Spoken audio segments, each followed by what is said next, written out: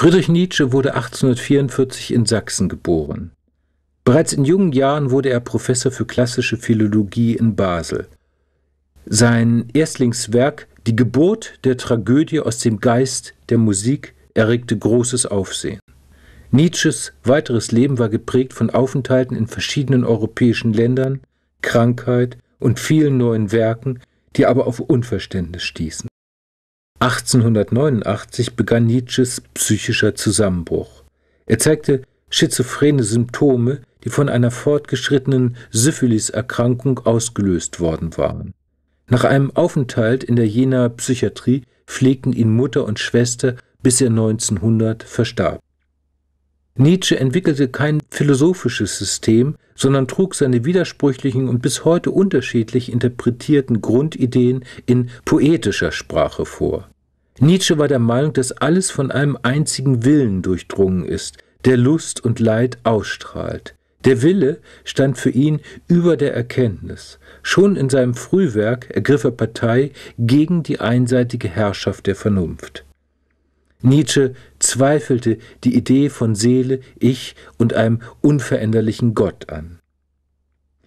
Den von ihm postulierten Tod Gottes begrüßte er, denn er schaffe Platz für einen sogenannten Übermenschen.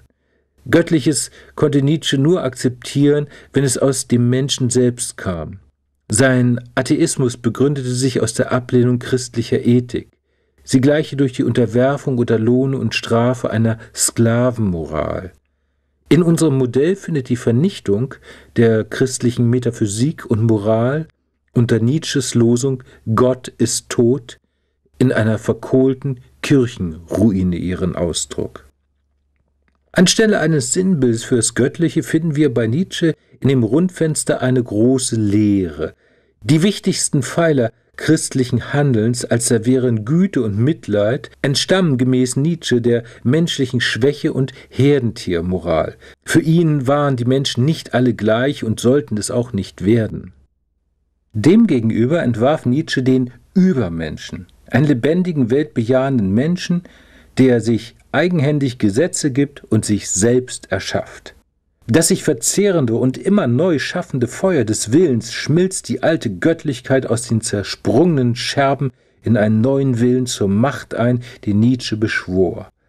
Dieser leuchtet nicht über dem Menschen, sondern im Feuer seiner Seele selbst, aus dem er geboren wird. Bei der Geburt des Göttlichen in der Tiefe der Seele handelt es sich um ein Motiv der Mystik. Nietzsche erscheint dadurch als irdischer Mystiker, als ein Mystiker ohne Gott.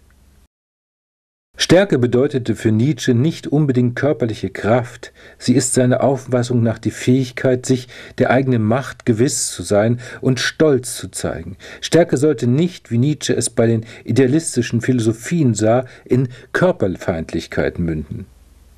Die nationalsozialistische Vereinnahmung von Nietzsches Begrifflichkeiten überschattet vor allem in Deutschland nach wie vor seinen Ruf. Nietzsche rief dazu auf, sich selbst wie ein Bildhauer zu gestalten und zu formen. Die linke große Flamme im Feuer unseres Modells ist tatsächlich formbar und beweglich. Aber Achtung! Auch der Schmerz der in ihr verborgenen Scherben ist spürbar.